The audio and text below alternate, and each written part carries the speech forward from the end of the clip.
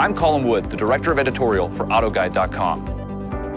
And I'm Mike Sweers, Chief Engineer for Toyota Pickup Trucks. And we're here to answer your questions about the 2014 Tundra.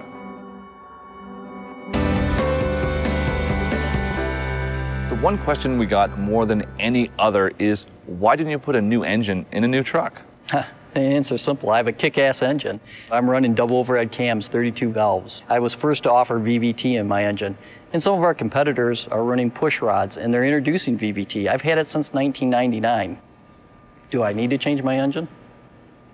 I'm sure you're not surprised to hear that we got a lot of questions about fuel economy. So what is Toyota doing with the new Tundra to maximize those MPG numbers? You know, lightweighting is an important place to, to start. And as we look at our powertrain, you know, I have aluminum head, I have aluminum engine block, I have aluminum transmission case, transfer case, uh, even aluminum prop shaft in the back. And we use a lot of high strength steel where we can use high strength steel to reduce mass as well. And we actually made some small changes to our engine to improve its efficiency. Um, but we didn't change our horsepower or torque, so we don't really talk about it.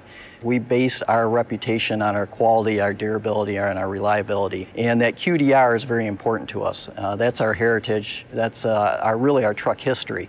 And anything we do put into our powertrain or into our chassis, we want to make sure that it lives up to that heritage.